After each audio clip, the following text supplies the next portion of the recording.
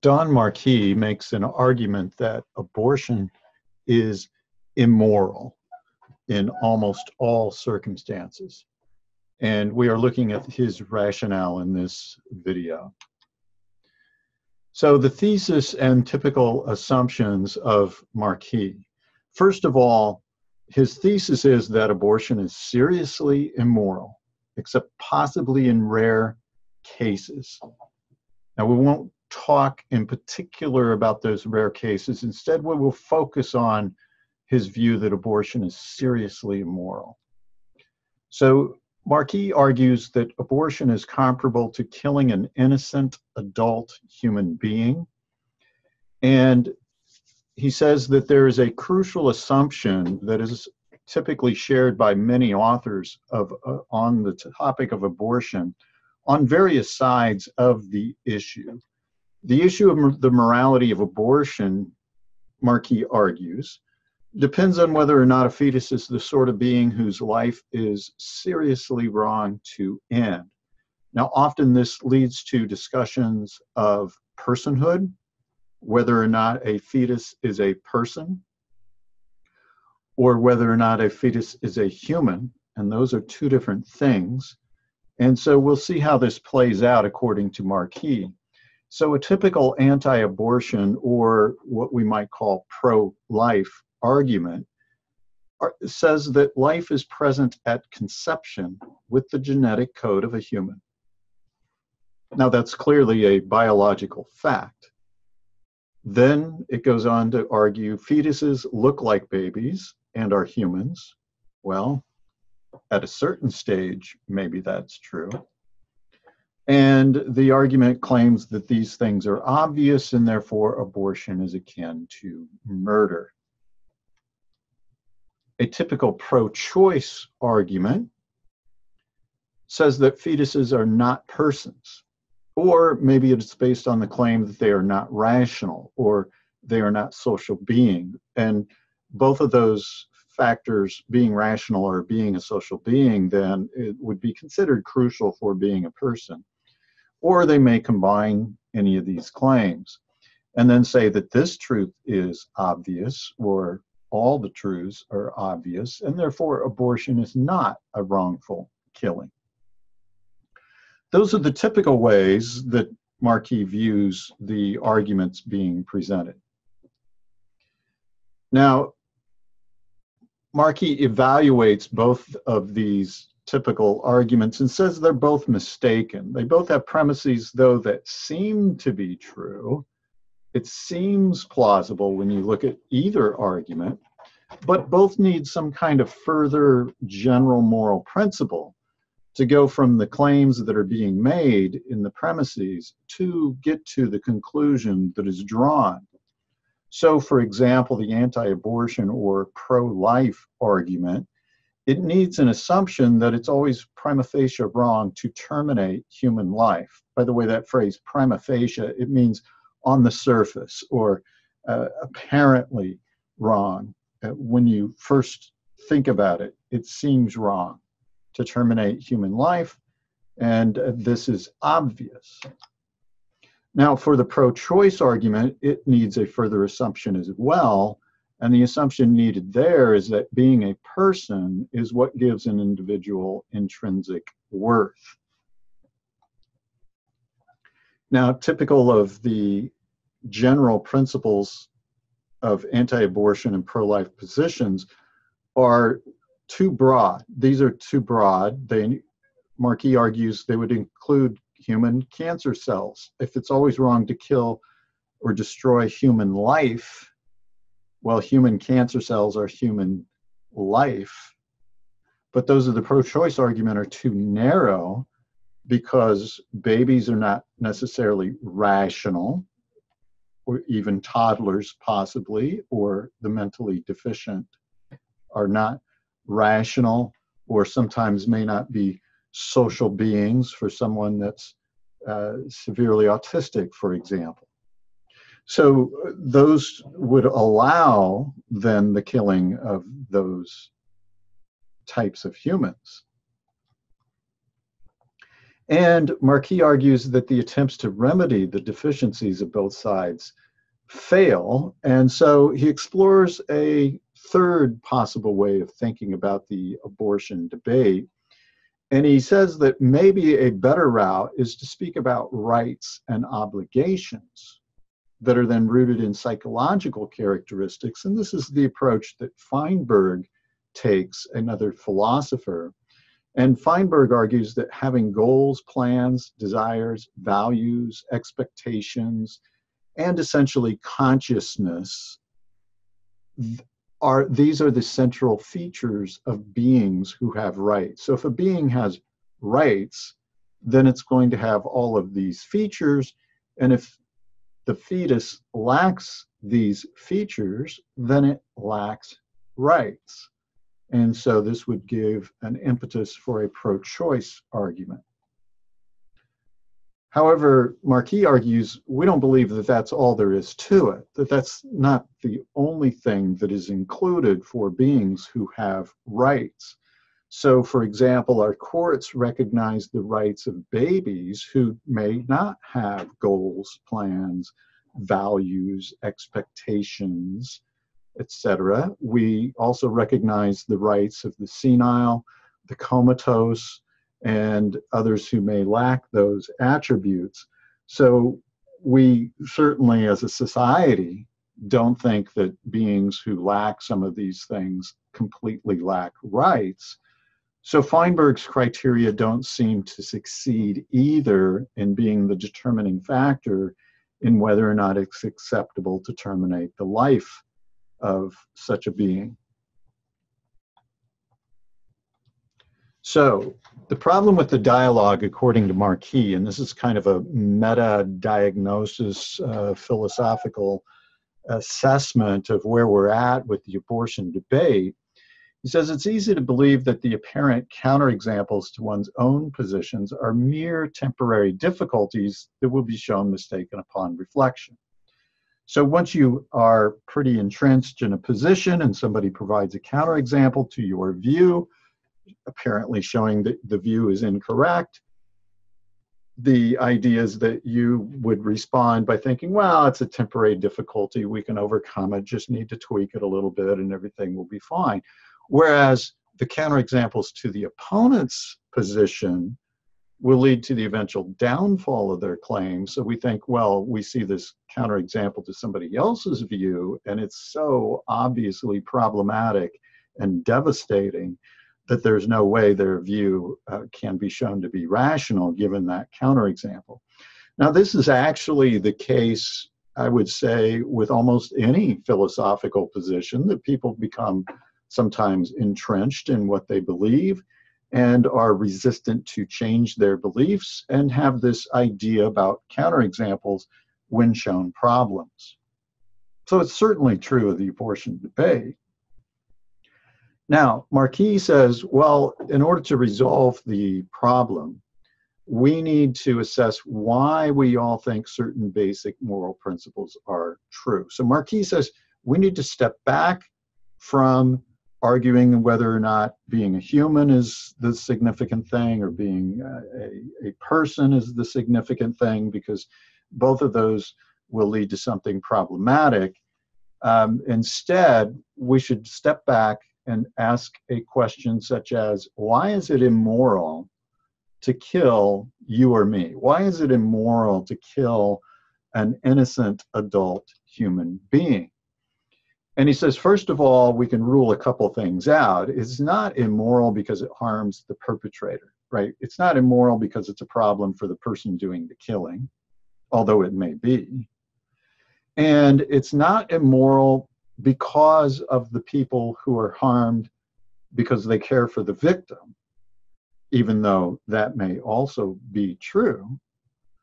But that's not getting at the key thing. Neither, both of those things might be true that it harms the perpetrator, and it might be true that it, it harms the people who care for the, the victim, the one killed, but those aren't getting at the essential reason why it's immoral to kill you or me what Marquis says is the loss of life is the greatest loss that one can suffer. It is the loss of the activities, the projects, the experiences, the enjoyments that we otherwise would have had that makes the killing immoral. And so, in other words, um, he uses this phrase it's the deprivation of a future life like ours that is the problem. When someone is killed, an innocent person is killed, that was an immoral action because someone has deprived that individual of a future life like ours, a life that includes activities, projects, experiences, enjoyments the things that give life value. And it's this loss of a future with life like that that constitutes the serious wrongness in a killing. So Marquis says when we assess why it's wrong to kill an adult, we have these different characteristics that we need to take into consideration. So the wrongness of the deprivation of a future life like ours, he says it's you can tell that this is the right thing to be focusing on because it also has explanatory value. It explains a few other things. It explains why we think that killing is one of the worst crimes, right? Uh, there are very few things that might raise to a capital offense on a legal system, and murder is one of them. It also explains why we think that a diagnosis of a terminal illness is so bad or the terminal illness itself is so bad, right? It's one of the worst things you could hear when you go to a physician, a diagnosis of cancer or uh, some other illness that would be terminal. It also explains why it's seriously wrong to kill infants and children because they have a future like ours. And in fact, we often grieve even more so when it's uh, infant or children. So, a school shooting, for example, at an elementary school, all the more uh, stirs up grief because they had all the more future in front of them. And so it makes it even more wrong, it seems, to many people. And finally, uh, it the deprivation of a future like ours, uh, that being the wrong part of it, explains why it may be wrong to kill other species who may have a future similar to that of a, an adult human. So there might be other uh, extraterrestrials who are intelligent, and they would also have plans, desires, hopes, etc. So that might explain why it would be wrong to kill them. It also, if you think that androids could have minds and actually have those mental capacities of having plans and desires and, and hopes and goals in, in their life, so to speak, if you believe that, then terminating an android with those characteristics would be immoral as well because it has that future. Okay, so now what are the implications of this argument? Okay, the most important implication gives us an insight for the abortion debate. And the primary reason why it's wrong to kill an adult human also gives reason to think that abortion is prima facie wrong. And so that's the most significant thing, right? That when you when you ponder why it's wrong to kill an adult human, you see that it's the deprivation of a future like ours that explains a lot of things. It makes sense. And yet, when you apply it to abortion, certainly the fetus would have a future like ours in the sense of it would have plans and desires and hopes and things that are enjoyable in life. And so that's why it's wrong to have an abortion, says Marquis. Now, this position is compatible, he clarifies, with active euthanasia, and we will uh, be talking about that in, in the uh, next section. Um, but uh, it's compatible if you think that active euthanasia is morally acceptable.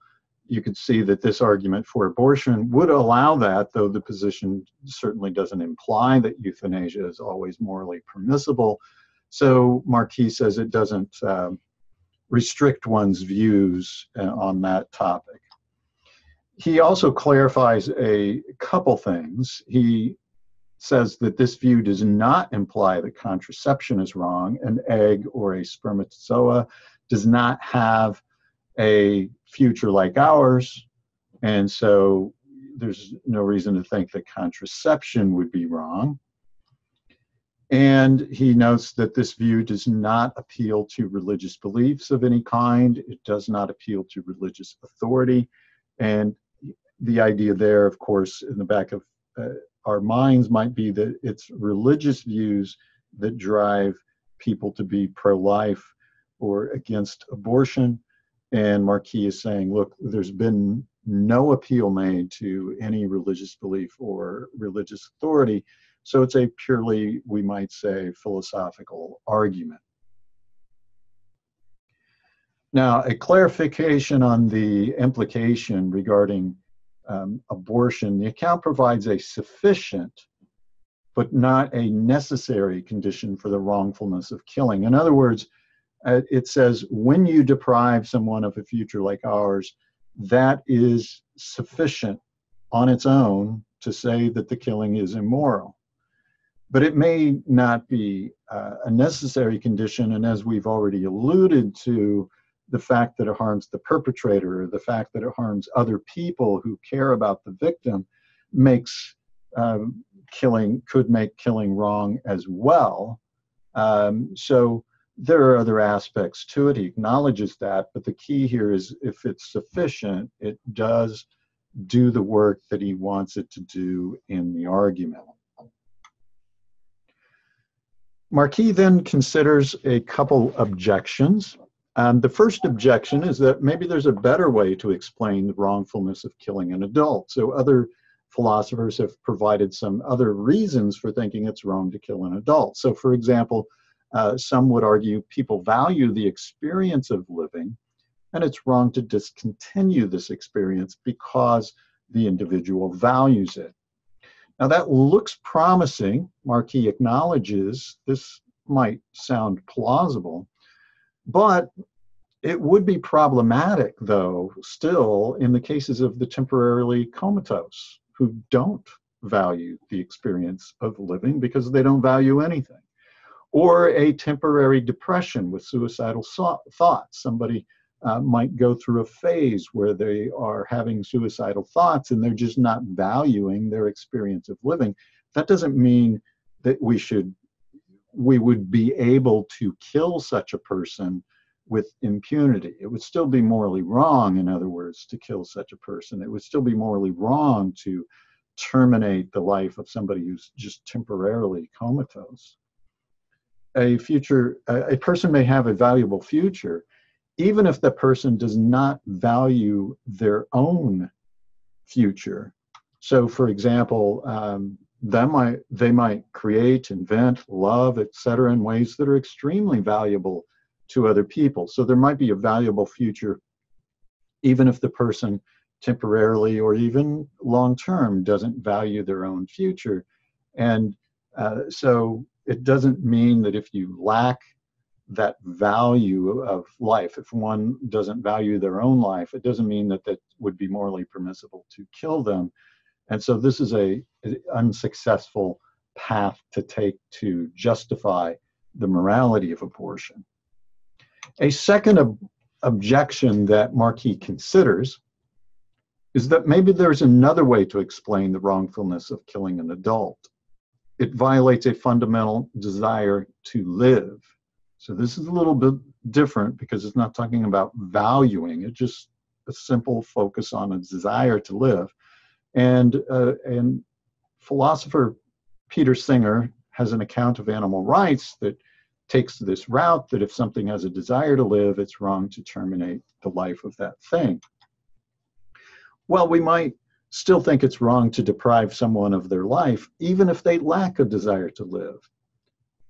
While you're asleep, it's not like you have this desire to live if you're in a deep sleep when you're in an altered mood, sometimes uh, through uh, drugs or alcohol, somebody may think my life's not I, I don't desire to live anymore. I just want to die.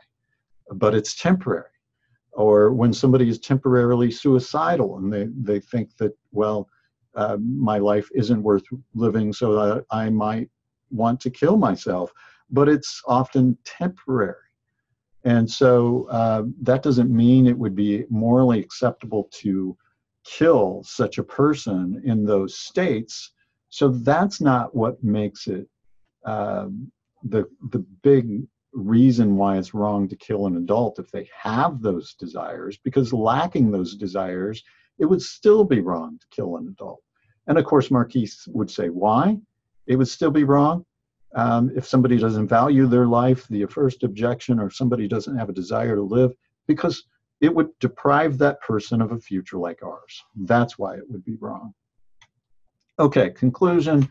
And we now can put this all together and make, make it a clear, succinct argument of Marquis. Fetuses possess a property that makes it morally wrong to kill them. What is that property? This property is the same property that is at the heart of what makes it morally wrong to kill an adult human. That is, being deprived of having a future like ours. Fetus has that property. That's what makes it wrong to kill an adult human. Therefore, abortion is morally wrong.